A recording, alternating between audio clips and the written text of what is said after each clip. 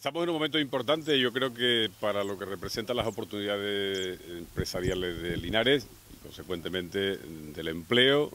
para la comarca y para el conjunto de la provincia.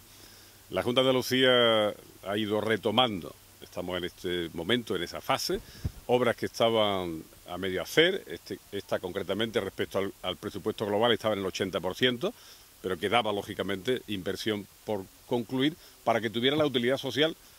para la que se había concebido esta infraestructura. hasta tanto no terminemos, esto no tiene ninguna utilidad como pueden observar. Es consecuentemente prioritario para el Gobierno de Andalucía acabar esta infraestructura como lo estamos haciendo en otras carreteras, como lo hicimos con los tramos de la autovía de Oliva que estaban parados. Al final, poner en servicio cosas que han representado un esfuerzo económico de los ciudadanos andaluces para dotar al territorio de más oportunidades. ¿Cuál es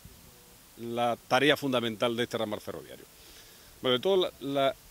componentes de costes de una empresa a la hora de producir bienes y servicios, se estima que en torno al 14 el 20% están ligados a la logística, es decir, al transporte inteligente de las mercancías en el tiempo y en el espacio.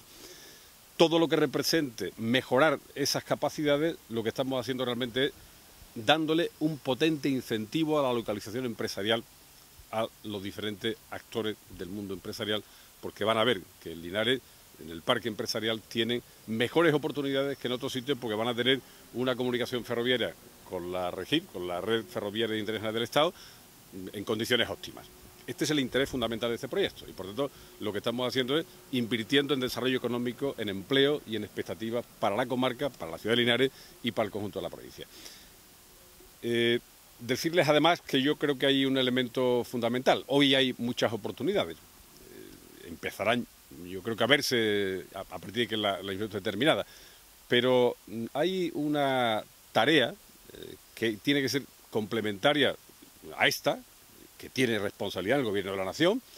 que es la conexión al final de lo que es la red de transporte. Los dos corredores, el número 3, que es el corredor mediterráneo, y el número 7, que es el corredor atlántico, la definición que se hizo en 2013 por la Unión Europea de las conexiones exteriores de Andalucía vía ferroviaria, son esos dos ejes, esos dos ramales. ¿Qué representa? Bueno, pues representa que el flujo de mercancías que ha sido creciente con la globalización, que pasan por el estrecho de Gibraltar y que pueden tener un destino, en buena medida, hacia Centro Europa, estamos hablando no solo cuando ustedes oyen hablar de Algeciras Bobadilla como reivindicación y demanda fundamental del Gobierno de Andalucía frente al Gobierno de la Nación, no piensen solo eso, piensen en al final Algeciras Bobadilla, Antequera Córdoba, Linares, Linares, Manzanares Madrid, París, que son las comunicaciones al final ferroviarias, la comunicación exterior de Andalucía en materia de transporte ferroviario con el conjunto de Andalucía, con el conjunto de, de España y de Europa. ¿Por qué tenemos que avanzar en esa dirección? Bueno, pues no llega entre el 3 y el 4% es el volumen de mercancías que utiliza el modo ferroviario. El resto es carretera fundamentalmente y un porcentaje también vía marítima. De lo que se trata y hoy no compiten solo infraestructuras aisladas, y compiten cadenas, lo que se denomina la intermodalidad, marítima, ferroviaria, carretera, para intentar que la solución sea ofrecimiento de planteamientos globales que induzca la mayor competitividad, al menor coste. Eso es imprescindible. Y por tanto, cuando esté esa infraestructura terminada, yo estoy convencido que va a haber muchas más oportunidades de desarrollo empresarial porque las empresas van a ver que tienen muy cerca un espacio privilegiado para producir y sobre todo minimizar el coste, entre el 14 y el 20, yo decía antes, de los costes de la logística. Y eso supone, de luego, que Andalucía, que ha sido y es periférica desde el punto de vista geográfico en Europa, eh, la globalización la ha colocado en la centralidad del flujo mundial de mercancías. Y eso es una oportunidad que tenemos que aprovechar. Por lo tanto, la Junta de Andalucía está haciendo lo que le toca, que es terminar esta infraestructura, dar con ello un incentivo potente a la localización empresarial en la ciudad de Linares, en la comarca y en la provincia de Jaén, y naturalmente al mismo tiempo seguir demandando al Estado, porque es su responsabilidad y esta legislatura lamentablemente se ha concluido sin ningún éxito en términos de compromiso inversor, que esa comunicación ferroviaria de Andalucía con el exterior, hablo con el resto de España y hablo con el resto de Europa,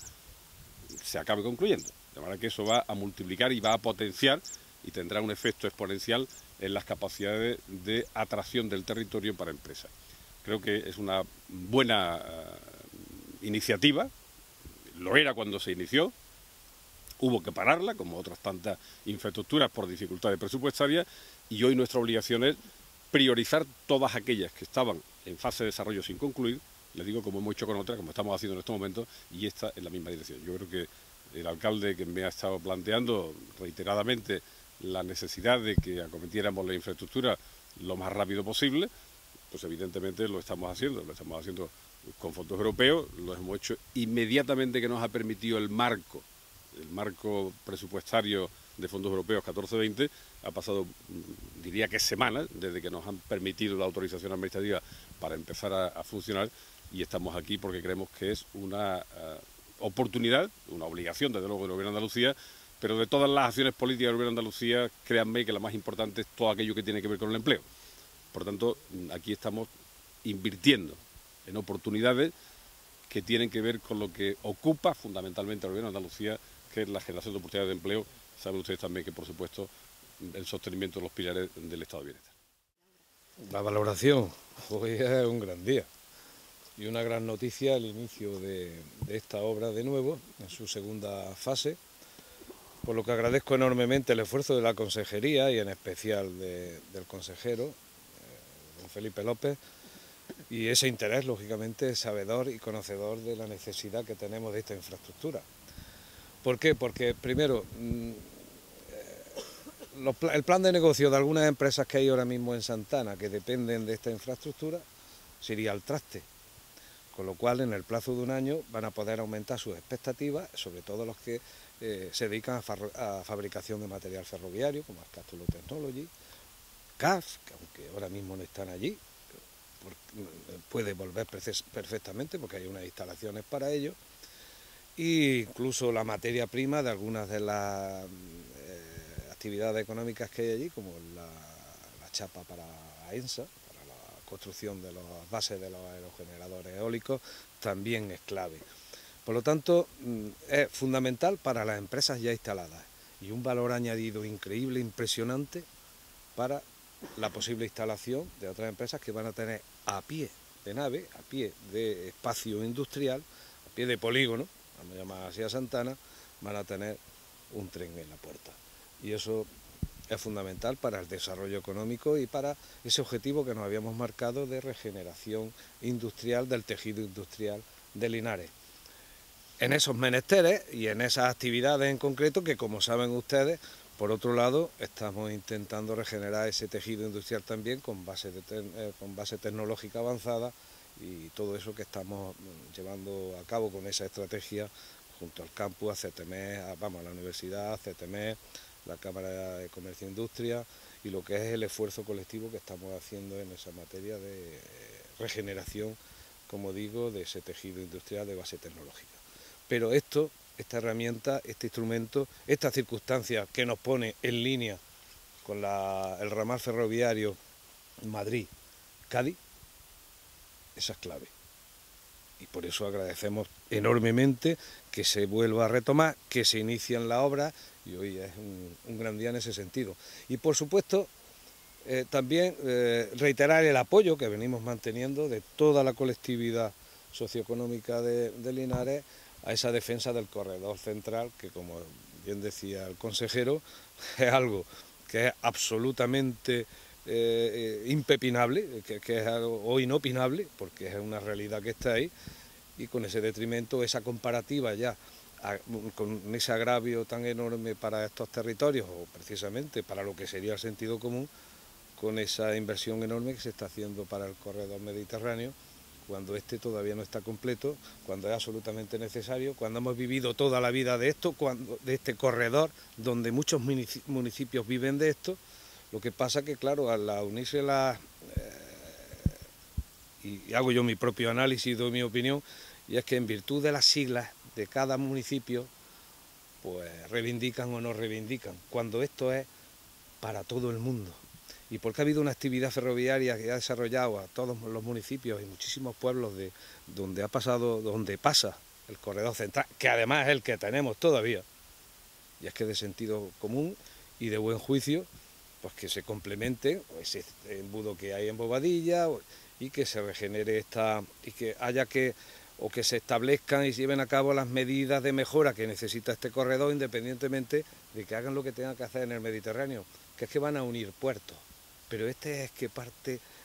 y, todo lo que es la geografía nacional la vertebra justo por el centro y justo por donde tienen los intereses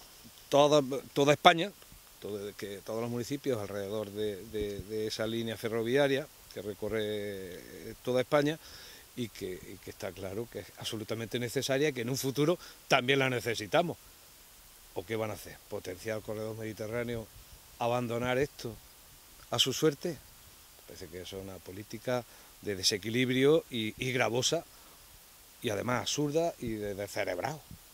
a menos que los lobbies esos que hay por ahí son tan importantes y tan voluminosos que es que hacen pensar eh, o, dirigen las inversiones no con el sentido común y con las necesidades de los territorios, de los pueblos y demás, sino en virtud de la presión y, de la, fuerza o, ese ejercicio